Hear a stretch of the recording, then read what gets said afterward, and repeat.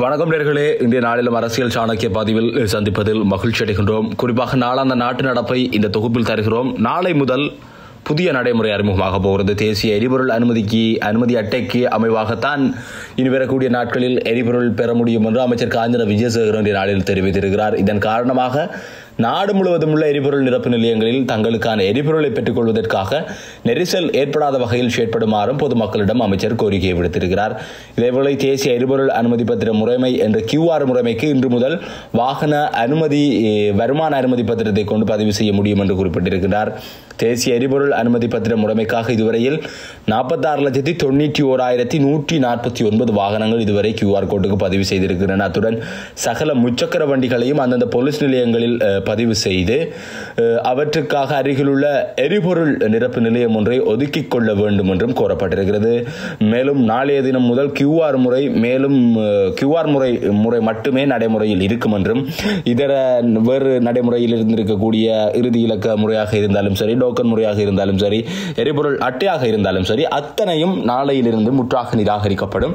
QR குறைக்கு QR திட்டத்திற்கு மட்டும்தான் நாடளாவிய ரீதியில் எரிபொருள் வழங்கப்படும் என்று தெரிவிக்கப்பட்டிருக்கிறது. அதே போன்று வருட இறுதியில் பன்னிரண்டு மணி நேரம் மின்சாரம் தடைப்படுவதற்கான அஹ், நாளொன்றிற்கு பன்னிரண்டு மணி நேரம் மின்சாரம் தடைப்படுவதற்கான சாத்தியக்கூறுகள் உள்ளதாக பொது பயன்பாடுகள் ஆணைக்குழுவின் தலைவர் ஜனகர் ரத்நாயக்க தெரிவித்திருக்கிறார்.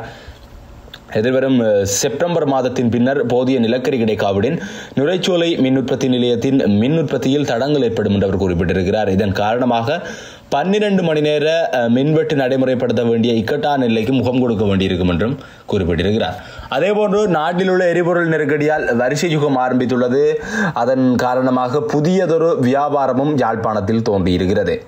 நாளைய தினம் எரிபொருள் பெற வேண்டுமானால் முதல் நாளே வாகனங்களில் வரிசையில் விட வேண்டும். அத்துடன் ஒரு நாள் முழுவதும் வாகனத்தை காவல் காக்க வேண்டும்.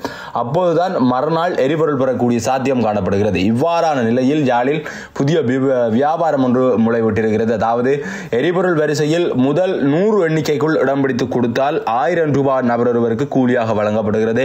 நாள் முழுவதும் அந்த இடத்திலேயே தங்கி நின்று மோட்டார் சைக்கிளை பாதுகாத்து மறுநாள் காலை உரிமையாளரிடம் இடத்தையும் வாகனத்தையும் ஒப்படைத்தால் ஆயிரத்தி ஐநூறு ரூபாய் கூலியாக வழங்கப்படுகிறது. நாடு எவ்வாறோ பயணித்துக் கொண்டிருக்கிறது. அதில் இவ்வாறான சில சம்பவங்களும் ஆங்காங்கே இடம்பெறுகிறது. அதை நாங்கள் சொல்லிக்கொண்டு முச்சக்கர வண்டிகளுக்கு வாரத்தில் முப்பது லிட்டர் பெட்ரோல் வழங்குமாறு அரசாங்கத்திடம் கோரிக்கை ஒன்று முன்வைக்கப்பட்டிருக்கிறது. பொது போக்குவரத்தில் ஈடுபடும் முச்சக்கர வண்டிகளுக்கு வாரத்தில் முப்பது லிட்டர் பெட்ரோல் வழங்குமாறும் அரசாங்கத்திடம் கோரிக்கை விடுக்கப்பட்டுள்ளதாகவும் தற்போது வழங்கப்படும் ஐந்து லிட்டர் பெட்ரோல் எவ்வகையிலும் போதுமானது அல்ல எனவும் அகில இலங்கை முச்சக்கர வண்டிகள் தொழிற்சங்கத்தின் தலைவர் லலித் தர்மசேகர தெரிவித்திருக்கிறார். ஏனைய பொது போக்குவரத்து சேவைகளைப் போன்று தேசிய போக்குவரத்து ஆணைக்குழு முச்சக்கர வண்டிகளையும் உள்வாங்க வேண்டும் இல்லையெனில் லட்சக்கணக்கான முச்சக்கர வண்டி ஊழியர்கள் நடுத்தெருவுக்கு தள்ளப்படுவார்கள் என்று தெரிவித்திருக்கின்றார். அதேபோன்று ஆட்சியிலிருந்து விரட்டப்பட்டிருக்கக்கூடிய ராஜபக்ஷ குடும்பத்தை சேர்ந்த முக்கியமான ஒரு ராஜபக்ஷவிற்கு மீண்டும் ஸ்ரீலங்கா அமைச்சரவையில் அமைச்சு பதவி வழங்கப்பட போகிறது. அவர் யாரும் இல்ல. நாமல் ராஜபக்ஷவிற்கு எதிர்வரும் அமைச்சரவை மாற்றத்தின் போது ஸ்ரீலங்கா பொதுஜன பிரமுனவின் உறுப்பினரும் முன்னாள் அமைச்சருமான நாமல் ராஜபக்ஷவிற்கு அமைச்சு பதவி வழங்கப்பட உள்ளதாக அரசியல் வட்டார தகவல்கள் தெரிவிக்கின்றன.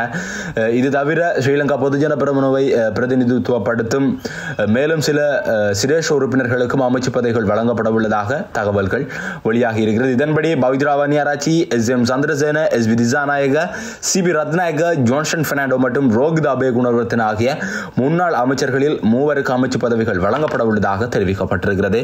இவைதான் இன்றைய நாளின் முக்கியமான செய்திகளாக இருக்கின்றன இவை தவிர ஏனைய செய்திகளை இரவு நேர பிரதான செய்திகளில் எதிர்பாருங்கள். நன்றி வணக்கம்.